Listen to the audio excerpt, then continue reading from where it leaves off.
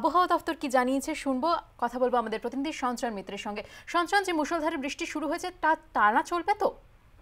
দেখো, এই যে বৃষ্টি হচ্ছে, হয়তো বৃষ্টির প্রাবল্য সবসময় এক থাকবে না, তবে আগামী দুদিন, অর্থাৎ আটচল্লিশ ঘণ্টা এই বৃষ্টির প্রভাব বজায় থাকবে। অর্থাৎ বৃষ্টি হবে দক্ষিণবঙ্গের প্রায় সমস্ত জেলাতেই।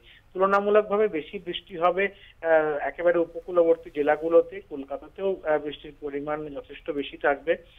আজকে সকালে কিছুক্ষণ আগে আরও একটি সতর্ক বার্তা দেওয়া হয়েছে। তাতে বলা হয়েছে যে সকালের মধ্যে হাওড়া, হুগলি, কলকাতা এবং নদিয়া পূর্ব মেদিনীপুর। এই জেলাগুলোতে বেশ কিছুটা বৃষ্টি হবে এবং বজ্র বিদ্যুৎ সহ বৃষ্টি হবে।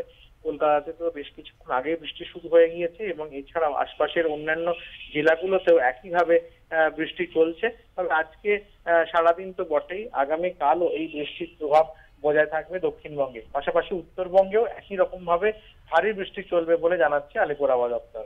ধন্যবাদ, সঞ্চয়ন।